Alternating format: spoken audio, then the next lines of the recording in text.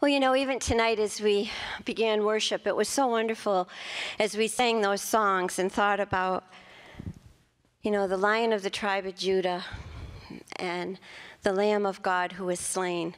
We can't really talk very much about forgiveness without really focusing on the Lamb, uh, Jesus, who gave his life so that forgiveness is even possible. And even as we um, go through some of these notes um, on forgiveness and the fact that it really is a master key to everything that God offers us, um, we, we do need to focus on the picture of Jesus on the cross. I mean, just to get that sense of the kind of forgiveness that God has in his heart for us. And um, the precious blood that was spilt for, for us, each one of us that purchased us and, and bought us back from that lost place of the kingdom of darkness and has now transferred us into his family and into his kingdom of light. It's, it's such a powerful thing. I just love it when we also sing that song, Oh, come to the altar, the Father's arms are open wide. Forgiveness was bought with the precious blood of Jesus Christ. You know, we need it every day. Every day we need it. And as we will study tonight, we also need to give it every day. We need to receive forgiveness and we need to be those that forgive. And that we live our lives that way so that we can be that holy temple that God inhabits. And we can have that sweet communion with God so that He can show His power through His children who He loves so much.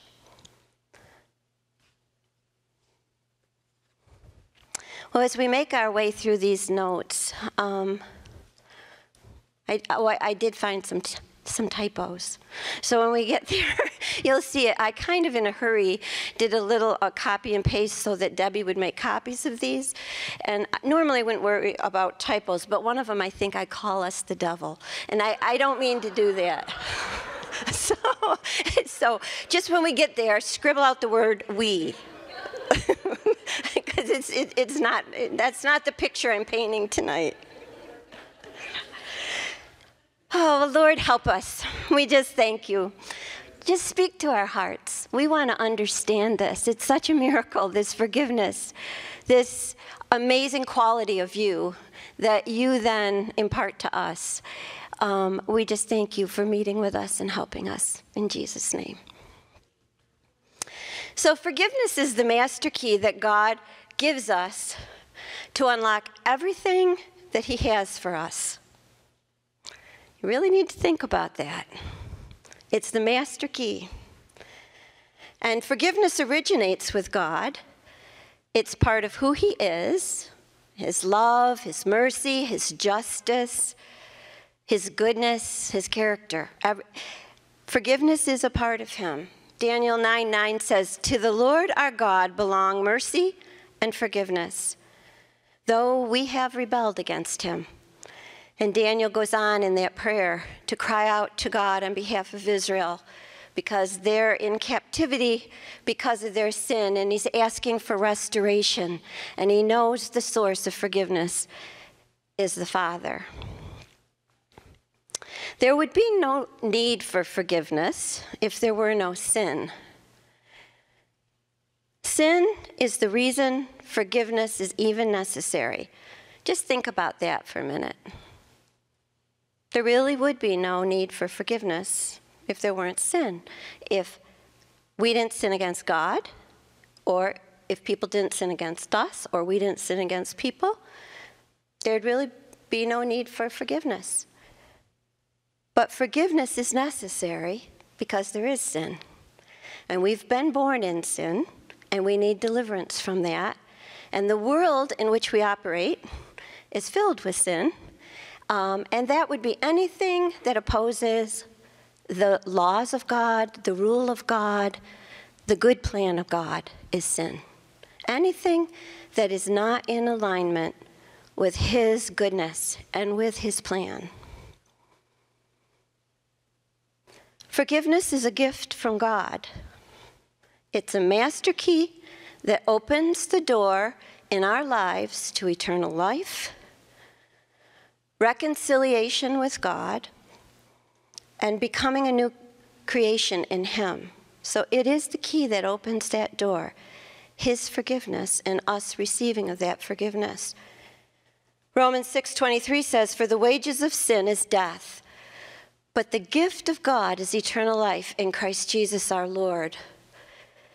This master key of forgiveness opens the door to all the blessings of God and the glory of his kingdom. The master key of forgiveness opens the door to healing also, and provision, to protection, intimate friendship with God, so that we can hear his voice and so we can see spiritually.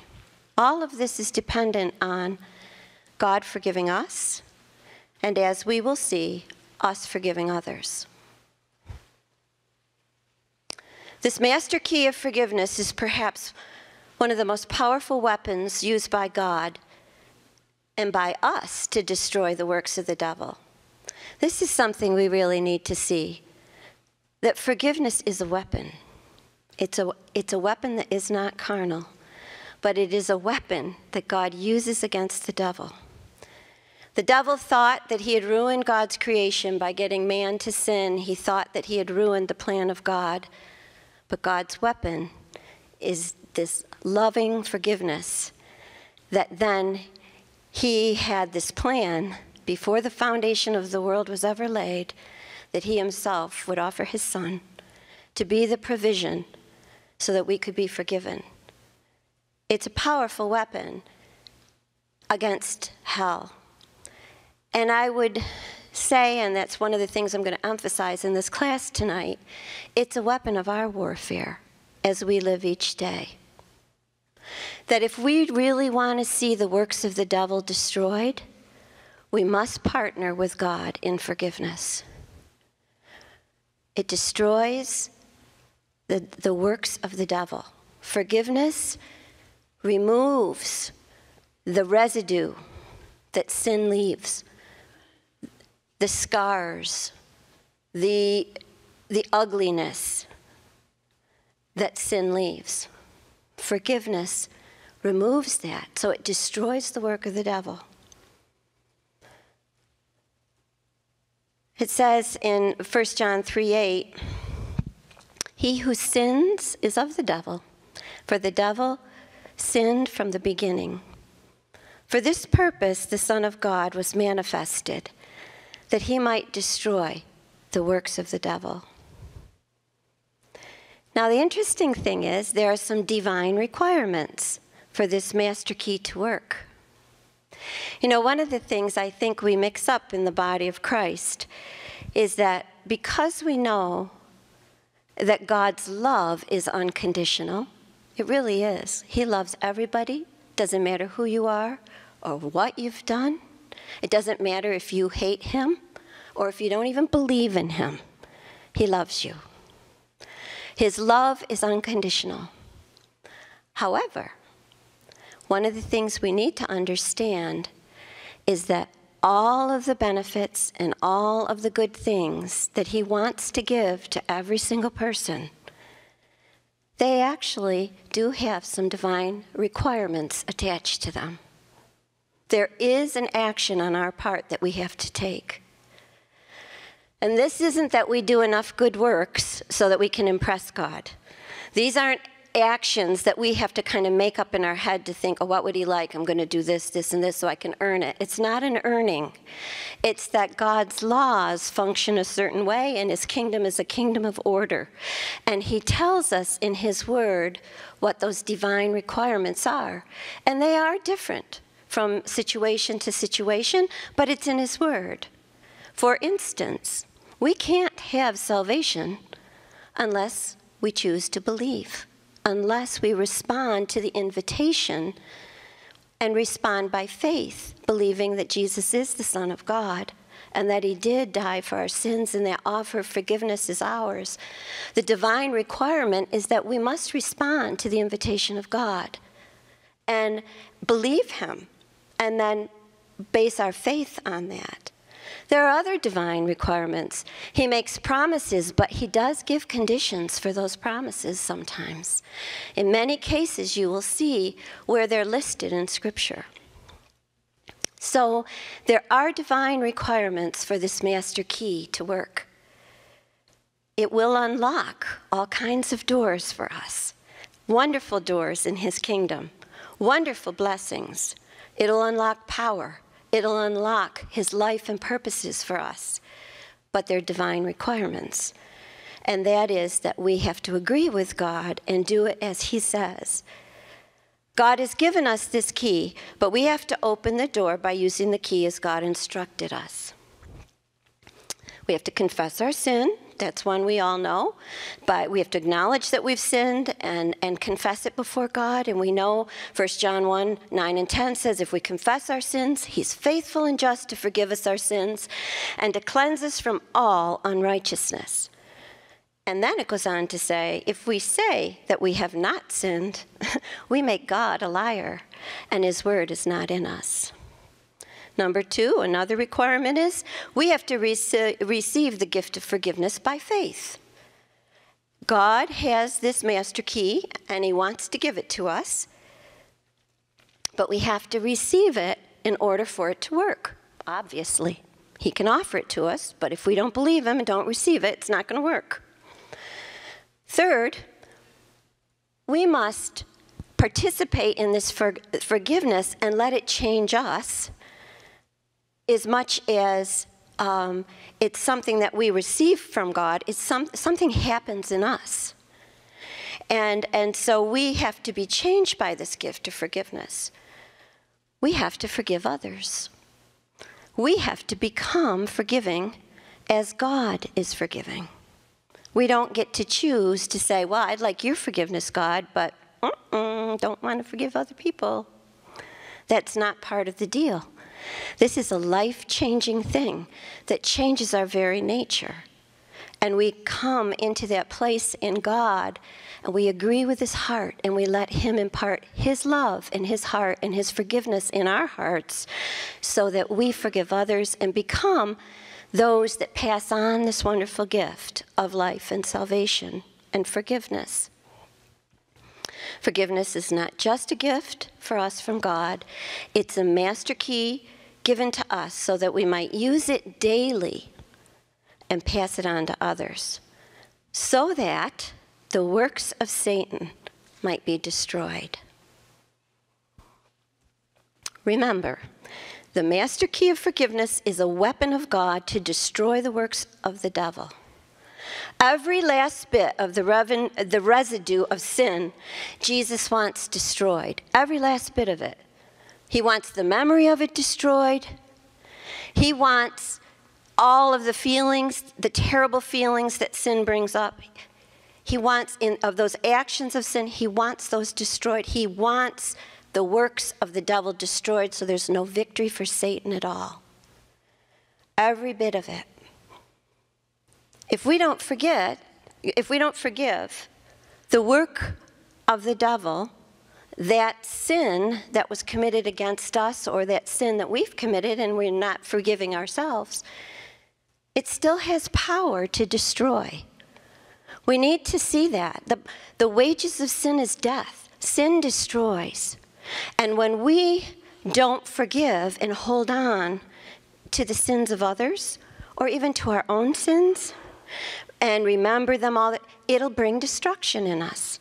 It bring, sin destroys. We want the power of the blood of Jesus to so wash over that and the love of God to so invade that place that that sin doesn't have the power to hurt us anymore.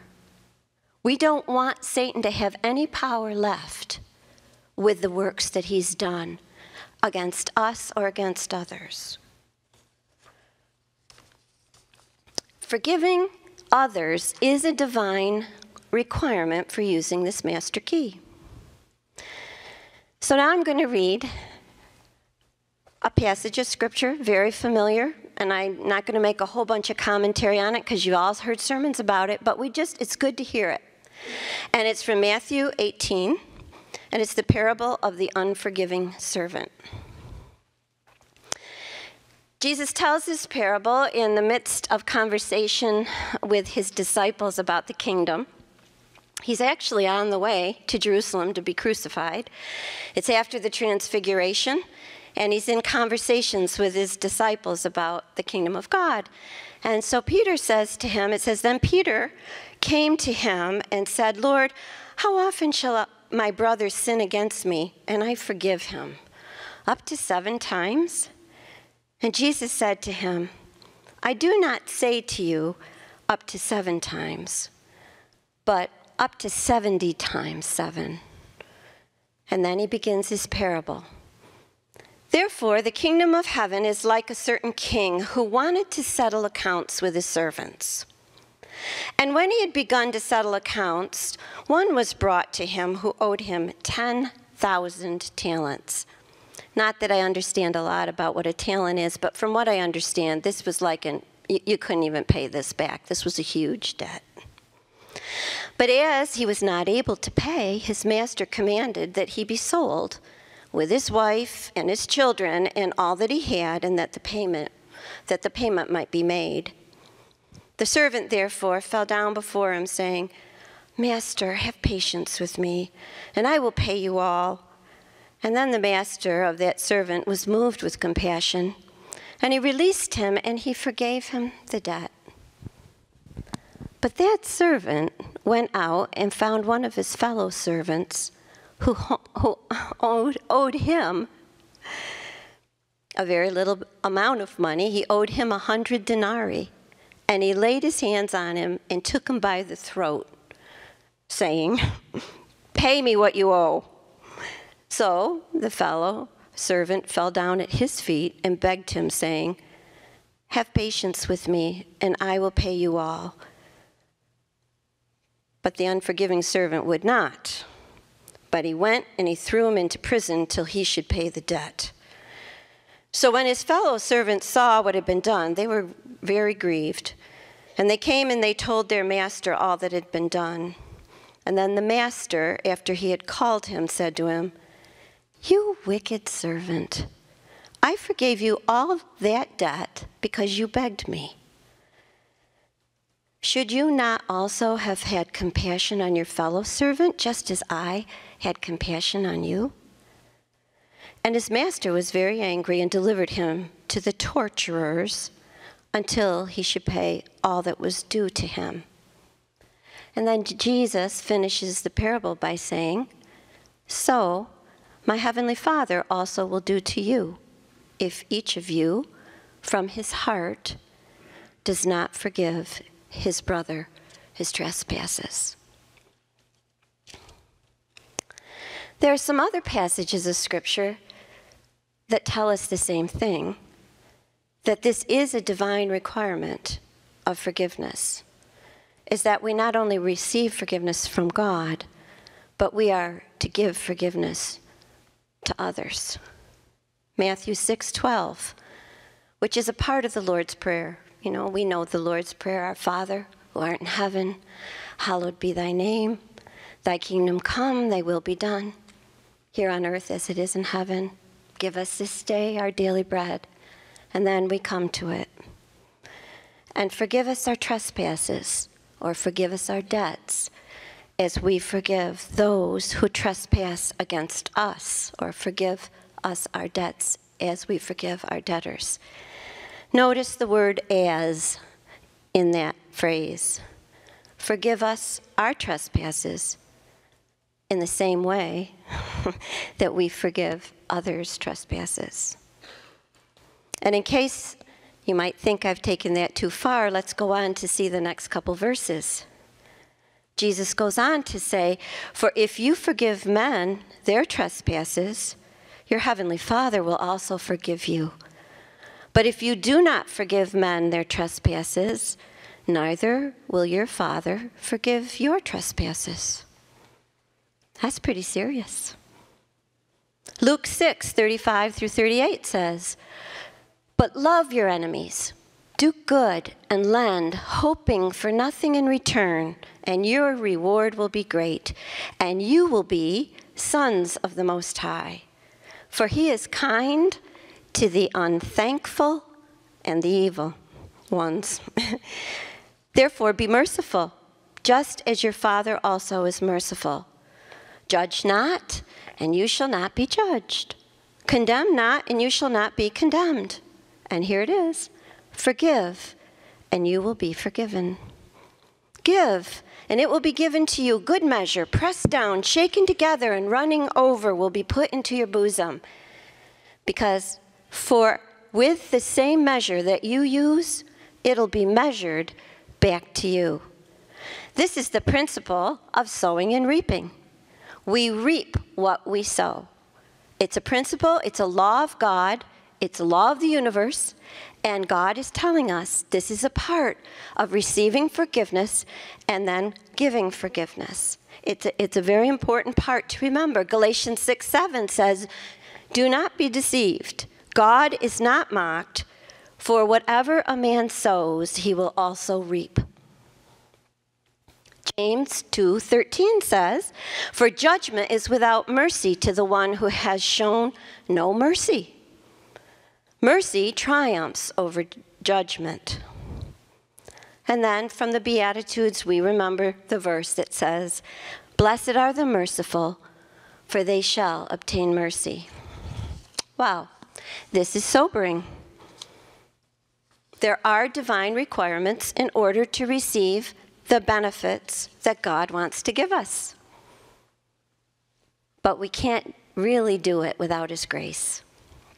And we remember what Pastor David said to us about God's grace and how he defined it. It's God's power at work within us.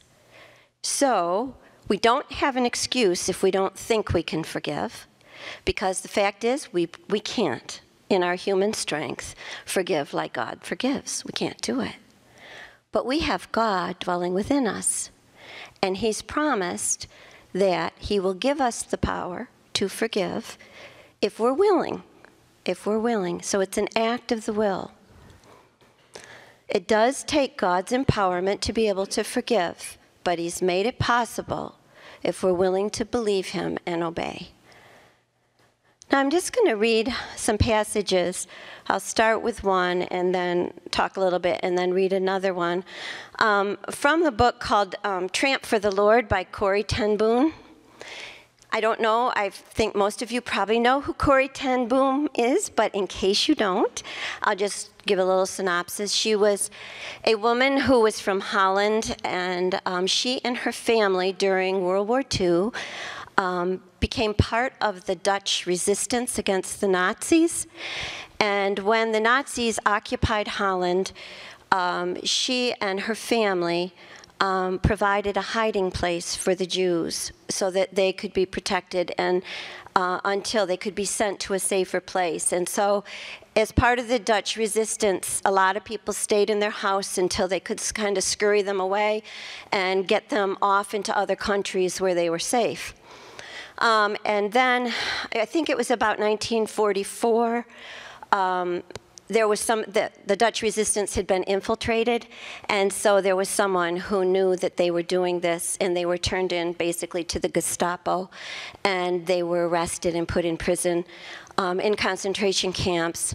Some of her family members, I think the younger ones, were let go because they weren't as much involved in it. But Corrie and her sister Betsy and her father were retained in the German prisons. Her dad was elderly and he died about 10 days later in the prison. And then um, she and Betsy were in the prison together um, in Holland, they were moved from prisons to prison, and then eventually moved to Ravensbrück in Germany, one of the concentration camps. Um, but through this time, um, they shared the gospel in their prison cells. They suffered a lot. They saw horrors. They were partaking of horrors. I mean, it was just a terrible, terrible um, story about what people went through. You can read the book The Hiding Place and then her, her book Tramp um, for the Lord is a good one. She's written other books too. But um, anyway, then um, shortly before the war, um, her sister Betsy died in prison. Um, and then just a, not long after that, just I think it was only a few days or I don't know how long it was, um, Corrie was called to roll call and expected to be sent to the gas chambers because they were killing everybody her age and older. And the people with her were, but for some strange reason, she was led to the gate, the gate opened, and she was set free. She learned later it was a clerical error. we know it was God, but you know it was it was a, a, a horrifying uh, testimony of, of things that they went through, and yet amazing victory that these um, people had in Jesus, even in the midst of their suffering.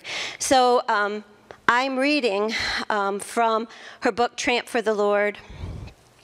After she got out, she, after her recovery and everything from it, she opened up a home to help people who had been uh, victims of the Nazis who were suffering all the wounds of that to help them recover and forgive and to find Jesus. And, and then later she began to minister to the Germans themselves. And then eventually, as years went on, she went all over the world. She was an amazing woman. Um, I think she died on her 91st birthday, but she was active and involved in an amazing way, spreading the gospel globally. But this um, is just a little snippet um, of part of her life that she's written about in Tramp for the Lord. It was in a church in Munich that I saw him. A balding, heavy-set man in a gray overcoat, a brown felt hat clutched between his hands.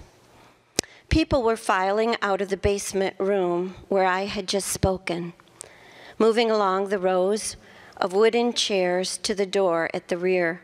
It was 1947, and I had come from Holland to defeated Germany with the message that God forgives. It was the truth they needed most to hear in that bitter, bombed out land, and I gave them my favorite mental picture. Maybe it's because the sea never is far from a Hollander's mind. But I always like to think that that's where forgiven sins were thrown. When we confess our sins, I said, God casts those sins into the deepest ocean forever. And even though I can't find it in Scripture, I always added, and I believe God then goes and places a sign out there that says, no fishing allowed. The solemn faces stared back at me not quite daring to believe. There were never questions after a talk in Germany in 1947. People stood up in silence. In silence, they collected their wraps, and in silence, they left the room. And that's when I saw him, working his way forward against the others. One moment, I saw the overcoat and the brown hat. The next, a blue uniform and a visored cap with its skull and crossbones. It came back with a rush. The huge room with its harsh overhead lights, the pathetic pile of dresses and shoes in the center of the floor, the shame of walking past this man naked. I could see my sister's frail form ahead of me, ribs sharp beneath the parchment of her skin. Oh, dear Betsy, how thin you were. The place was, was Ravensbrück, and the man who was making his way forward had been a guard, one of the most cruel guards. Now he was in front of me. Hand thrust out, a fine message, Fräulein. How good it is to know, as you say, that all our sins are at the bottom of the sea. And I, who had spoken so glibly of forgiveness, fumbled in my pocketbook rather than take that hand. He would not remember me, of course. How could he remember one prisoner among the thousands and thousands of women? But I remembered him and the leather crop swinging from his belt. I was face to face with one of my captors, and my blood seemed to freeze. You mentioned Raven's book, Brook in your talk, he was saying. I was a guard there. No, he did not remember me. But since that time, he went on, I have become a Christian. I know that God has forgiven me for the cruel things I did there, but I would like to hear it from your lips as well. Fräulein, again, the hand came out. Will you forgive me? And I stood there, eyes whose I, whose sins had again and again been forgiven and would have to be forgiven. And I could not forgive. Betsie had died in that place. Could he erase her slow, terrible, painful death simply for asking? It could not have been many seconds that he stood there, hand held out. But to me, it seemed like hours as I wrestled with the most difficult thing that I ever had to do. If I had to do it, I knew that. The message that God forgives has a prior condition. We forgive those who have injured us. If you do not forgive men their trespasses, Jesus says, neither will the Father in heaven forgive your trespasses. I knew it not only as a commandment of God, but as a daily experience. Since the end of the war, I had a home in, Ho- in Holland for victims of Nazi brutality. And those who were able to forgive their former enemies were able to return to the outside world and begin to, they began to rebuild their lives no matter what the physical scars were. But those who nursed their bitterness, they remained invalids. It was as simple and as horrible as that. And still I stood there with the coldness clutching my heart. But forgiveness is not an emotion. I knew that too. Forgiveness is an act of the will. And the will can function regardless of the temperature of the heart. Jesus, help me, I prayed silently. I can lift my hand, I can do that much, but you supply the feeling. And so, woodenly, mechanically, I thrust my hand into the one that was stretched out to me. And as I did, an incredible thing took place.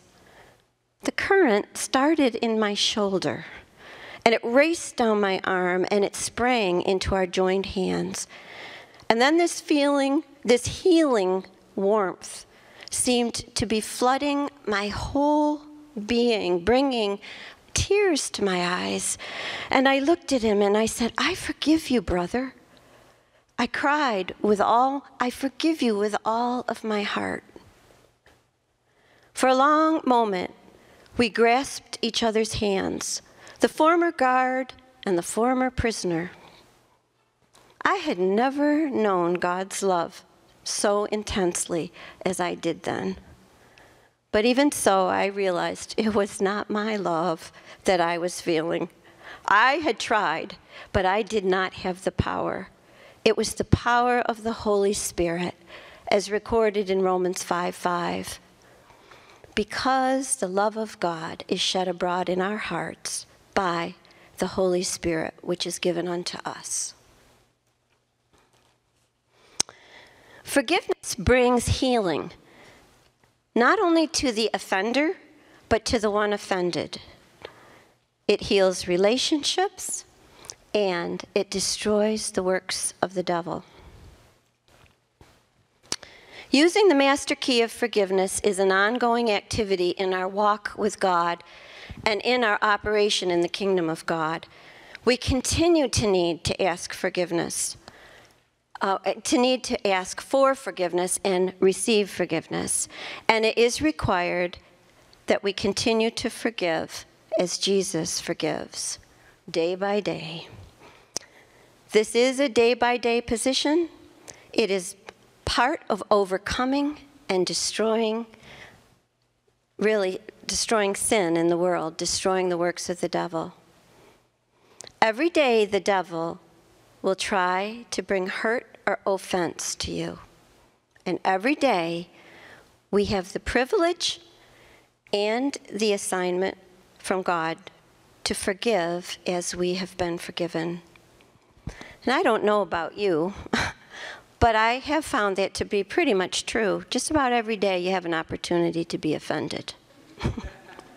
don't you think so? I mean, maybe not every day, but almost. Even sometimes by my own thoughts, I can be offended, you know?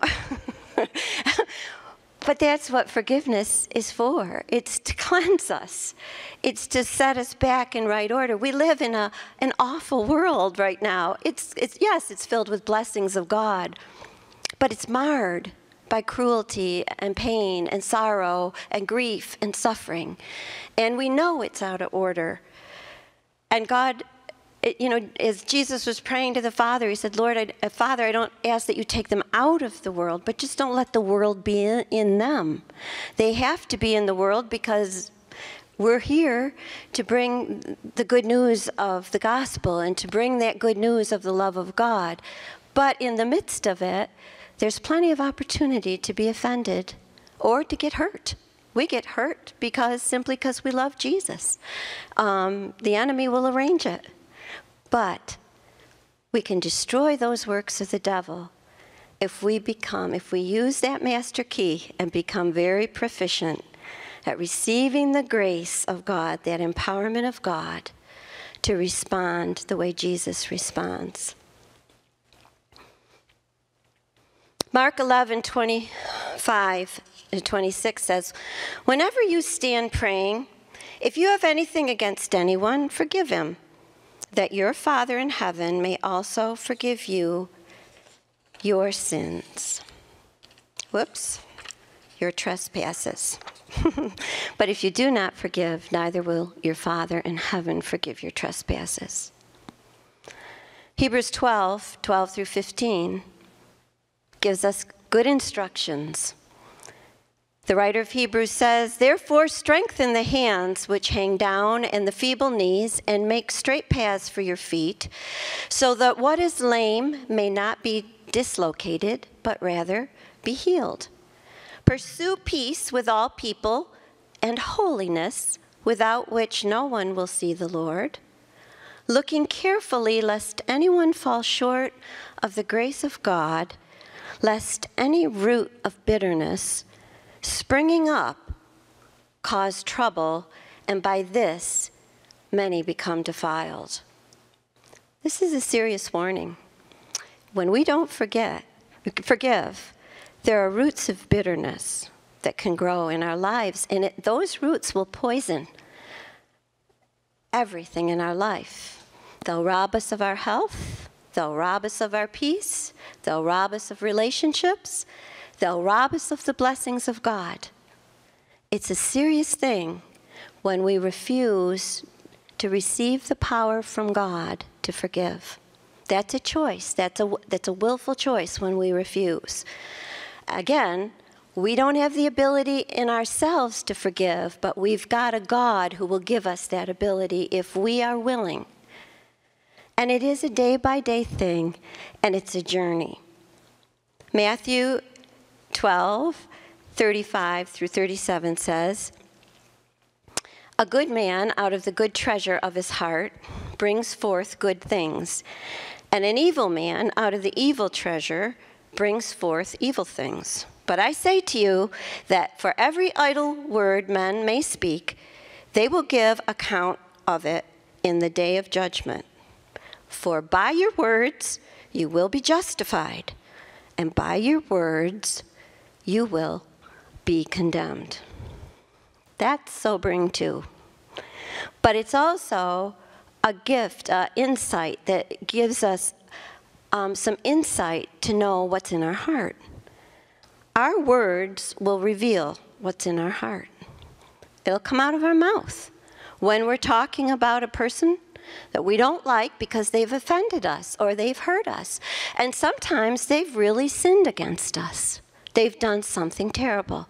Sometimes it's a perceived offense, but at any rate, we are to forgive. And to the degree that we forgive, it, it just moves into another place and it becomes forgotten. So much so that when you try to drag it up, sometimes you can't even remember the details of the thing. I've had that happen in my life where God has so delivered me of some things that were done in my past that really, if I were to sit here and try to remember the details, I, they're all blurry to me. I don't remember them. And they're gone. They don't have that poison in them anymore to harm me because of the grace of God, because of the precious blood of Jesus applied. He breaks the power of canceled sin and he sets the prisoner free. And it's, it's a powerful thing to see what God will do for us and the freedom that He brings us if we will cooperate with Him. And it's profound because think about it you being able with God to destroy the works of the devil. How awesome is that? To be a partner with God in destroying the enemy's works and that which the enemy likes to wear around as a trophy. How awesome is it that He's invited us into that and given us the power to be a part of it with Him? Our words will reveal what's in our heart. And we will know by the things that we say whether forgiveness has been given by us or even whether it's been received. The person that is always beating themselves up with condemnation has not yet received by faith the true forgiveness that God is offering them. There's, there's mars that come, mars on our, our soul that come when we sin against God. And we've all got those. We all have those things that we're really sad about, that we, we wish we had not done. We wish we hadn't parta- partaken of something or participated in something. When we think of it, we cringe. But that is forgiven. And it can be buried in the deepest sea. That is God's desire, that it would be so that we would receive that forgiveness by faith and it could be so cleansed from us that it doesn't pop up in our mind all the time. And should the devil bring it up, we can say it's buried and you can't go fishing there. I'm going to close um, by reading another section from Tramp for the Lord. Because as I speak about this being um, a day by day thing, it's an ongoing journey to learn how to forgive like Jesus, and He works with us. He knows our heart if we're willing to, or if we're just like set in stones in kind of a real stubborn way. So I'm not going to forgive. I'm not going I don't care, God, what you say, I'm not going to forgive. That's a dangerous place. And that's when roots of bitterness can start. But if you cry out for God's help, He'll begin to come and move in our hearts and help us to move into forgiveness. Now I have to find the place in the book, and then I can go on.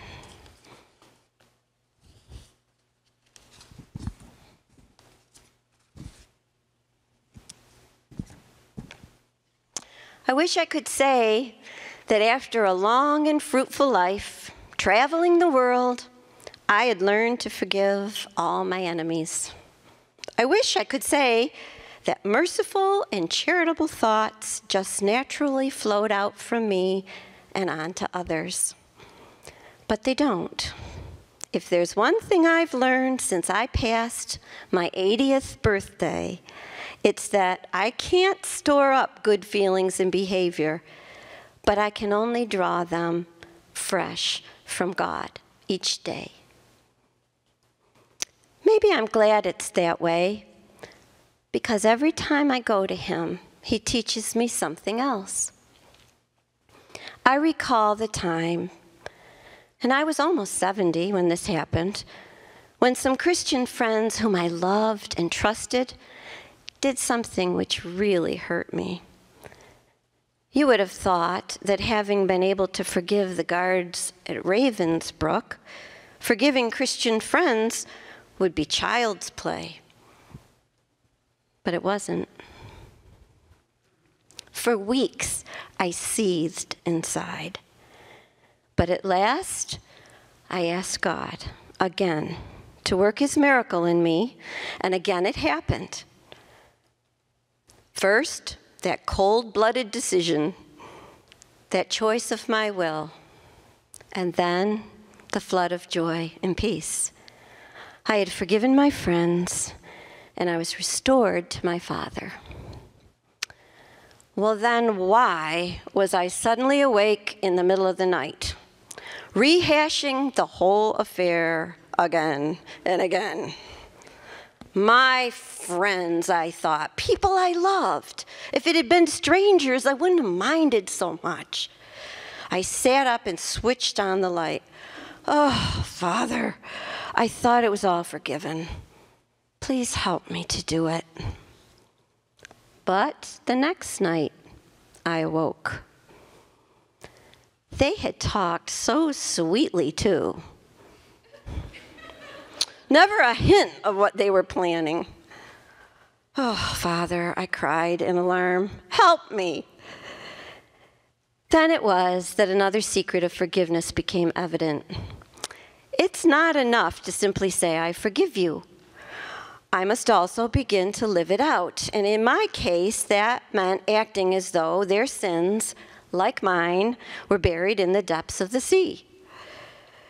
If God could remember them no more, and he said so in Hebrews 10 17, he says, Your sins and iniquities I will remember no more. Well, then, I shouldn't remember those sins anymore either.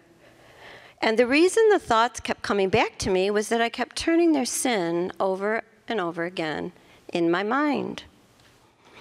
And so I discovered another of God's principles.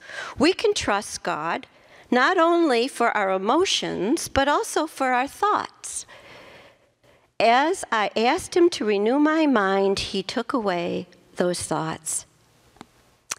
But he still had more to teach me.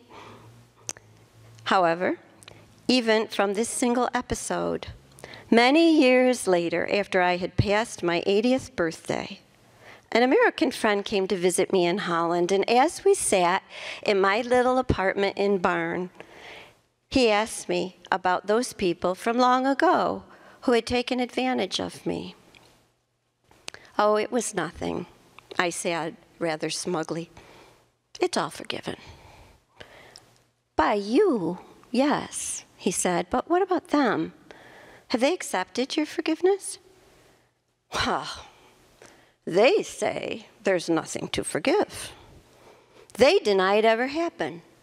No matter what they say, though, I can prove they were wrong. And I went eagerly to my desk. See, I have it here in black and white. I saved their letters, and I can show you where. Corrie, my friend, came over and slipped his arm through mine and gently closed the door drawer Aren't you the one whose sins are at the bottom of the sea? Yet the sins of your friends are etched in black and white. For an astonishing moment, I could not find my voice. Lord Jesus, I whispered at last, who takes away all my sins, forgive me for preserving all these years the evidence against others Give me grace to burn all the blacks and whites as a sweet smelling sacrifice to your glory.